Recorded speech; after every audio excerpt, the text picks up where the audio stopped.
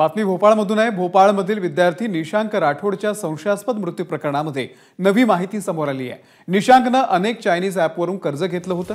या कर्जाच्या परतफेडीसाठी निशांकवरती दबाव वाढत होता आणि त्यामुळे तो तणावामध्ये होता अशी माहिती समोर आली आहे. निशांकनं त्याच्या मित्रांकडूनही पैसे घेतलेले होते. त्यानं हे पैसे मौज मजा करण्यासाठी उडवले होते.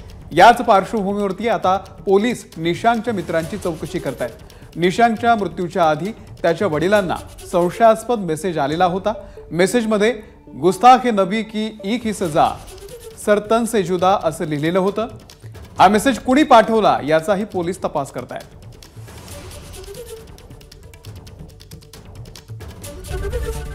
एबीपी माझा उघडा डोळे बघा नीट.